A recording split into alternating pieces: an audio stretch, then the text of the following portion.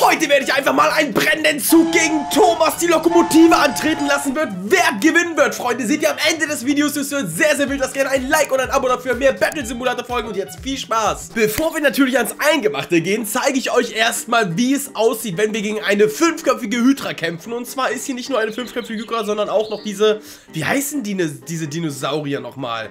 Brontosaurus oder so, die mit diesem Schwanz hinten haben wir noch ein paar Skelette. Und natürlich die fünfköpfige Hydra. Insgesamt haben wir 400 Dollar zur Verfügung. Würde ich sagen, platzieren wir einfach mal so ein paar Soldaten hier vorne. Hier so ein paar Ritterkämpfer. Hier, komm. Die sollten doch eigentlich gut antreten können gegen die Hydra, oder nicht? Davon nehmen wir einfach ein paar. Dann nehmen wir, haben wir auch welche auf Distanz. Ne, guck mal, wir haben keine, keine Bogenschützen. Ja, das könnte ein bisschen problematisch werden, sag ich mal. 300 Dollar haben wir ausgegeben. Dann hier hinten nochmal so ein paar Speerkämpfer. So. Und dann bin ich gespannt, wer hier gewinnen wird. Oh mein Gott. Oh mein Gott, was? Wieso haut der da? Und, Alter, wie soll ich das denn... Warte mal, wie, die sind ja übel schnell down, die Dinos. Guck mal, wie die den verkloppen mir, den Dino, den Arm. Guck mal, wie die den kaputt hauen. Alter, und hier die ganzen Skeletten oder was? Und jetzt ist da noch die Hydra am Start. Wir können auch mal nachgucken, wie viel Leben die noch hat. Okay, die Hydra, die haben noch alle Ziel. Oh, da kommen meine ganzen Ritter angekämpft und wollen alle fighten. Okay, okay, es könnte sein, dass ich das jetzt verliere, aber ich habe schon eine Idee für die, für die nächste Runde gleich. Oh, aber ich sehe viele... Wow, ich sehe viele rote Balken auf jeden Fall. Hm, aber grundsätzlich hat die Hydra auf jeden Fall noch ordentlich Leben, ne? Ein Kopf ist tot schon, oder? Ja, ist auf jeden Fall schon, der Kopf da unten ist schon tot. Und die anderen Köpfe haben auch noch kaum was.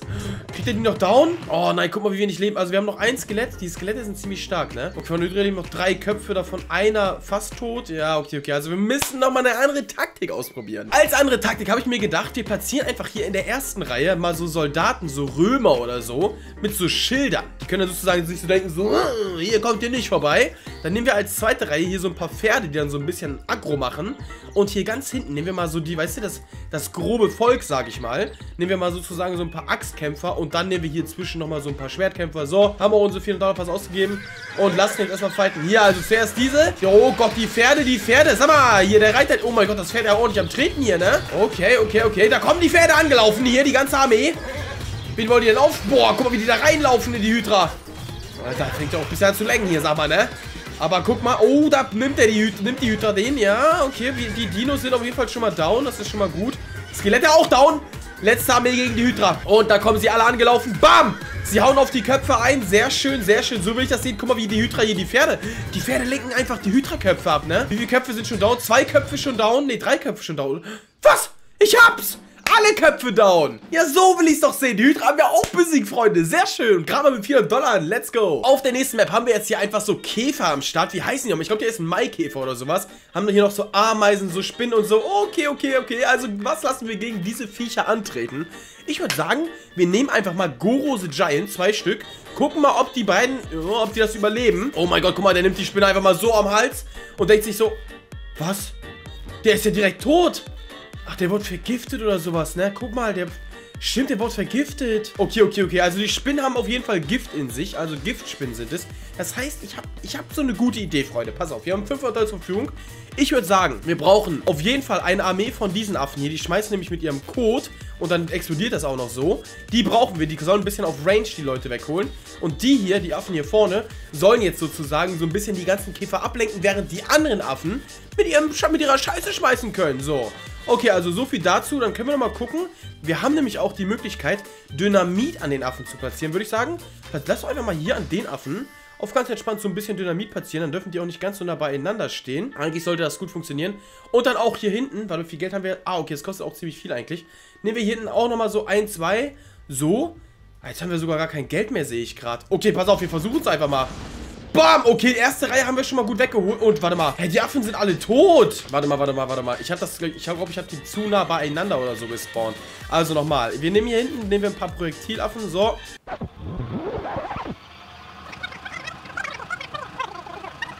Okay, ich bin gespannt.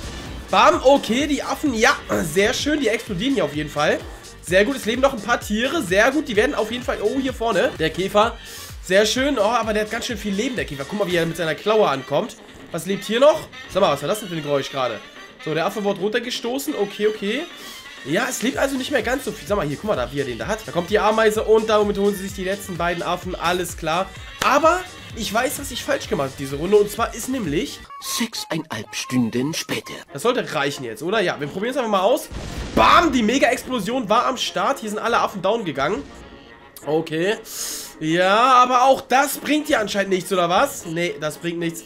Hier die Spinne einfach mal komplett. Ciao, ciao. Was haben wir hier oben noch? Ja, nee, das war's. Alle Affen tot, Freunde. Also, wenn ihr eine gute Taktik-Idee habt, schreibt es mir auf jeden Fall gerne mal in die Kommentare ab zur nächsten Map. Wolltet ihr schon immer mal sehen, wie es aussieht, wenn ein 80-80 gegen, oh Gott, gegen den King kämpft, Freunde? Ich platziere den King. Ich bin gespannt, wer gewinnt. Ihr wisst, dass der King mega, mega stark ist und der 80-80, sag mal, der fängt ja fast schon an rumzufliegen, aber der, oh, der King, der bekommt hier auf jeden Fall ordentlich Damage, ne? Ich sage euch, nur ein Angriff von dem King, oh mein Gott, der 80-80 ist einfach ausgewichen. Und alles klar, eine Rakete von dem King und der AT-AT einfach komplett explodiert, Freunde. Mittlerweile, ich weiß gar nicht, ich glaube, es gibt immer noch kein Tier in diesem Spiel, was einfach stärker ist als der King. Der King gegen viermal Thomas die Lokomotive. Wer wird gewinnen, Freunde? Guckt ihr euch an, wie sie hier angefahren kommen. Und der King, oh, der kassiert... Das glaube ich nicht, das glaube ich nicht. Ihr wisst nicht, was gerade passiert ist. Der King wird geholt von Thomas! Du willst mir sagen, dass Thomas stärker ist als der King? Das muss ich nochmal ausprobieren. Also, ist denn, wie jetzt gerade hatten wir vier Thomas. Wir nehmen jetzt mal einen Thomas.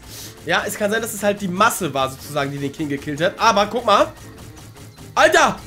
Ich weiß ja nicht, was der für ein Geschütz hat, aber das haut, killt den King auf dir. Thomas ist einfach stärker als der King!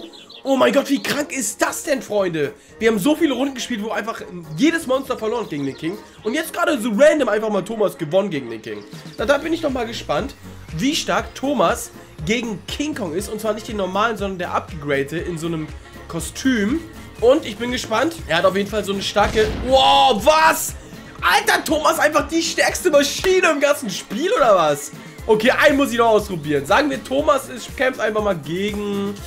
Mh, hm, lass einfach mal Thomas gegen so eine mutierte Schildkröte hier. So, komm. Ah, okay, ich muss zwei Armeen machen. Das ist natürlich kein Problem. Dann machen wir einfach mal Thomas gegen die Schildkröte. So, und Abflug. Drei Stück auf einmal. Alles klar, die haben ja original gar keine Chance. Thomas holt ja mal One-Hit und da fliegen die Panzer. Alles klar, also Freunde, wir müssen Thomas gegen den brennenden Zug fahren lassen. Ich glaube, Thomas weiß gar nicht, was auf ihn zukommt, Freunde. Wir haben hier einfach jetzt mal den Zug aus den Schienen genommen und lassen ihn einfach mal so fahren. Gleich kommt natürlich nochmal der Zug, der in den Schienen ist und natürlich nochmal zehnmal so schnell ist wie dieser hier. Ich bin gespannt, wer gewinnt. Der Zug fährt gegen Thomas und... Ja, es war ja klar, der Zug stoßt, stößt einfach Thomas einfach nur runter und damit gewinnt der Zug diese Runde. Aber wie sieht es jetzt aus, wenn wir Zug gegen Zug kämpfen lassen? Geht das überhaupt? Wow, was? Zug gegen Zug? Was passiert hier? Nee, ne? Okay, beide Züge sind auf jeden Fall down, Freunde. Also es ist auf jeden Fall unentschieden. Ist ja auch klar, die sind beide gleich stark. Die Train Crash Map ist am Start. Da vorne wartet schon der Zug auf seinen Einsatz. Hier hinten platzieren wir wieder unser Monster. Und lasst uns mal mit dem King anfangen, ja? Bevor wir gleich Thomas nehmen. Wir platzieren den King. Ich starte.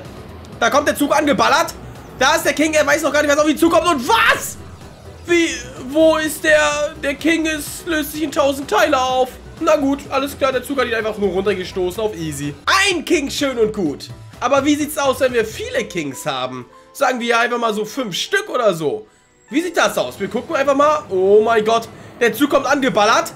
Und... Buh, was ist leckt?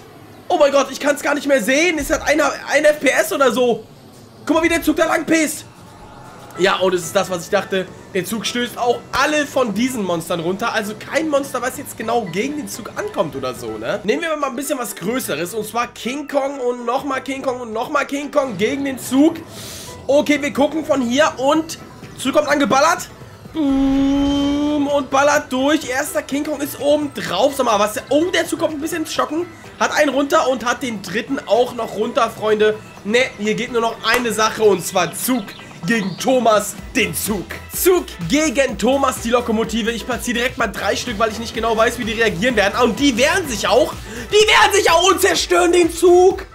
Freunde, das muss, warte mal, das muss ich nochmal probieren mit einem einzigen Thomas. Ein einziger Thomas gegen den Zug. Er ballert drauf, er ballert drauf und zerstört ihn auch. Also ich sag euch ganz ehrlich, nicht nur, dass Thomas den King zerstört hat, nein, er zerstört auch einfach noch den Zug, Freunde. Gegen Thomas hat anscheinend niemand eine Chance. Wenn ihr ein Monster kennt, was gegen Thomas ge äh, gewinnen würde, dann schreibt mir auf jeden Fall gerne in die Kommentare. Schreibt mir auch gerne weitere Spielvorschläge in die Kommentare, Freunde. Tut mir jetzt einen Gefallen, Freunde. Gebt gerne einen Daumen nach oben und lasst ein Abo da, wenn euch dieses Video gefallen hat. Checkt gerne eins von den anderen beiden Videos aus. Ich wünsche euch einen wunderschönen Tag. Wir sehen uns im nächsten Video. Bis dahin und ciao, ciao.